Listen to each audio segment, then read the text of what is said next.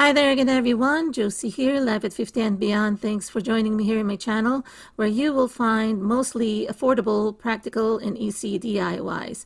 Today I'll be showing you some home decor and organization or storage ideas that are in farmhouse style. I'll be using this box here again, just like what you see in the backdrop there. I created that uh, last couple of weeks ago. So if you haven't seen the video of this storage chest with the drawer style system, I will be linking it in the description box below, also as an iCard on the upper right hand corner. So what I'm going to do today is I'm going to try to use them separately instead of together. So for this first project, I'm just going to show you just separating them using just the bigger part, which is the outer part. And I'm going to use four of them to show you how I can organize my paint bottles. Like the ones that I'm showing you here I am just demonstrating how you can fit four of them. So as you could see this is the apple barrel that they usually carry at Walmart and this is the two fluid ounces or 59 ml bottle. Also even the Mod Podge that they sell at Dollar Tree and also I think the paint bottles that they sell at Dollar Tree they will fit as well because they're almost the same size. Again, you have to look at the ones that look similar to these bottles here. So just to demonstrate, look at this one. This is the Waverly chalk paint. This is shorter than the bottles that I placed here, like this one, but it is wider or fatter. So you can only probably fit two of that. But if you want to mix probably two of that and maybe one thin bottle, you can fit three. Store them lying down. And I think it's best so that you could easily identify or see the colors. You put them where the lid will be in the inner part and then the bottom part so that you will see the colors are going to be showing on the outer part or it will be at the front like so. So depending on how many paints you have, you can use more or less of these cubes and just arrange them the way you like. So I'm loosely arranging them so that I can pick up one probably cube and then use those paints for a project. So it'll be good to color coordinate. Just to show you with this current project that I have just completed, you can use also the cubby to uh, partially probably display your items. If you just want to remove those three drawers on the top or maybe all the drawers just want to show you that smaller items can fit like the snow globes that I have on the left and the right and in the middle just a small figurine. And it'll be perfect if you just want to collect items small items or collectibles that will fit inside you can mix and match, have the drawer system also at the bottom. I also want to show you that it will fit nine spools of this twines that they sell at Dollar Tree. And look, they fit perfectly here. Three in a row, three rows, and a total of nine. I think they sell this at Dollar Tree for, I think, three or four in a pack. So if you also like to sew, you can use this to store your threads as well as your baker's twines and elastics and all those other smaller items that you would normally use when you are crafting. Now I'm going to show you how I'm going to use the inner or the drawer portion those with the cutouts there how I'm going to put them next to each other so I'm going to put them in four compartments here. So I'll just hot glue it here. Again, hot glue works because that one in the backdrop, the blue and green, I only hot glued them before I painted them. So I'm going to be just hot gluing the sides, making sure that I put the cutout this way and then the very end those two cutouts will be kind of put together so that it will not show either in the front or the back or even at the end.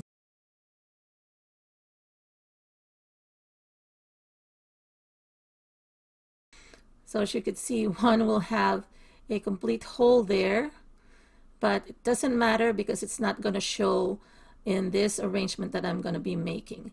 So what I'm going to do here is I'm going to paint this in brown, kind of like mimicking a stain color. So I just want to make it look like very rustic as well. Like I said, I'm creating something more of a farmhouse style. So I'm using this apple barrel nutmeg brown and I'm just going to be painting this. Probably a couple of coats of this nutmeg brown will do the job. Mm-hmm.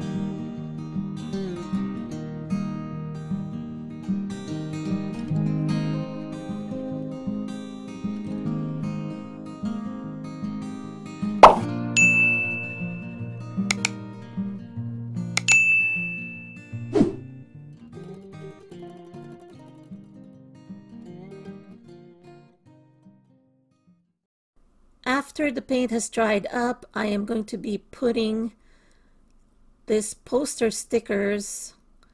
These are the ones that are in caps that they sell at Dollar Tree.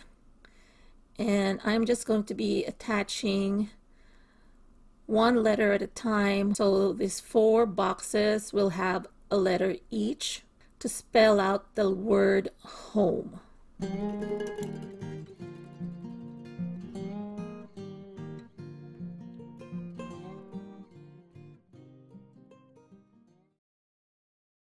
Just going to be doing a little bit of upcycling or recycling here. I'm going to be using the tea bottles of tea drink that my daughter has saved me. She has been drinking a lot of this uh, cold tea drinks and since the container is made of real glass, I told her to save me those glasses or those bottles for my future projects. So it's easy to just peel off the labels and then wash in warm soapy water and then rinse well those sides only with sticky residues. And I know that this is very tall for the project perfect size would be really this one here, which is something that the Dollar Tree carries. However, since I already have those empty bottles, I might as well just use them, upcycle them, rather than spend more money for this project. So I just want to mention that I am using what I have on hand in my stash. Even these wooden boxes, I ordered them about a couple of months ago when they were having the $4.95 flat shipping and handling before we had to stay home. But now I think Dollar Tree isn't selling online because they're focusing on delivering essential items to their sites. But anyway, I'm pretty sure once everything is back to normal, you will be able to find them again online if you cannot find them at your local stores. So these bottles fit perfectly. I love them. And now I'm just going to be decorating these bottles just to make them more in tune with the farmhouse style. I'm going to be using this twine. I have this in my stash as well from Dollar Tree. And what I'm doing here is I just cut around 12 inches of this twine and then I'm just going to be tying a simple bow and then this will be uh, what I will adorn this bottles here. I'm foregoing painting each bottle. I kind of like the appearance of clear bottles, so nostalgic. And if you want to paint them, go for it. But to me, I think I like it as is. I love the shape and the clear uh, appearance. And you can also opt to put some fairy lights inside so that at night you can light them up. For me, I'm trying to make it as simple as possible. So again, working off of from my stash, I'm actually just reusing some of my lavender flowers. I took them away from one of my floral arrangement that I created back in fall. And since lavender is pretty much all year round anyway, I like the look and simplicity of lavender, I'm just putting one bunch in each of the glass. And that's just a simple arrangement, like I said. Now, this would look really well on top of a mantle or inside a cabinet or side table. And I picture this as a centerpiece as well for weddings. If you want to put instead of H-O-M-E for home, put L-O-V-E for love.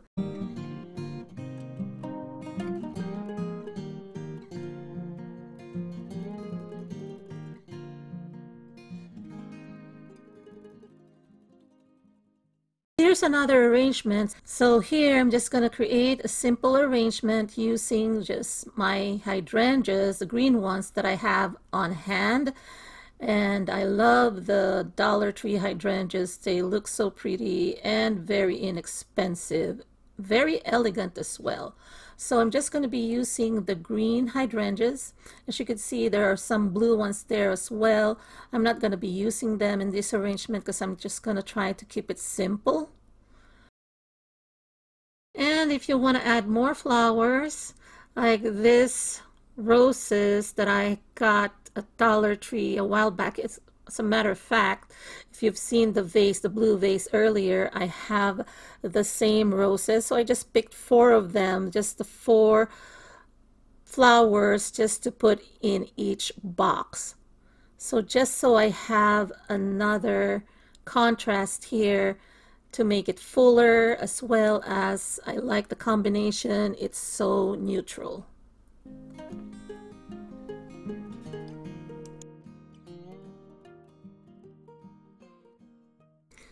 So here it is. I set it up for spring.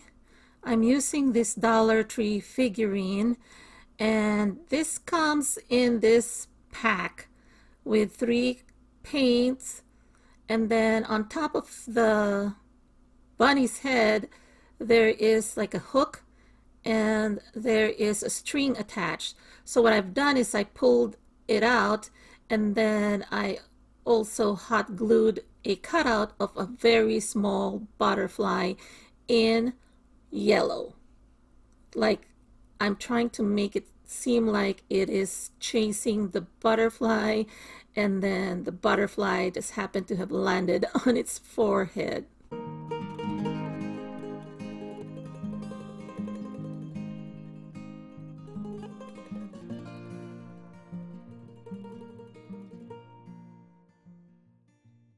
Here is another way that I am displaying this home centerpiece.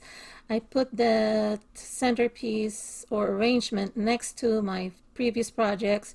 So this one here looks like a milk jug that I made using a 99 cents only store clear glass carafe. And I believe the Dollar Tree sells something similar, only smaller. And I placed a Dollar Tree uh, kind of like succulent flowers there inside. I have a video on that one which I am going to be linking in the upper right hand corner so that you can watch how I made that. And then I also have those coasters that I created a while back or probably a month, a month and a half ago.